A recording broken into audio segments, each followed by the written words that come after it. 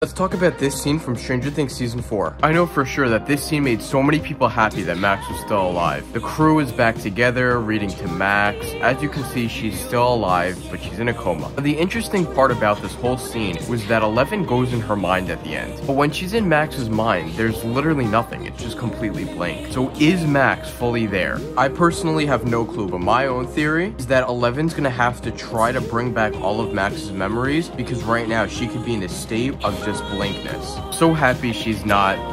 And uh, comment down below your thoughts.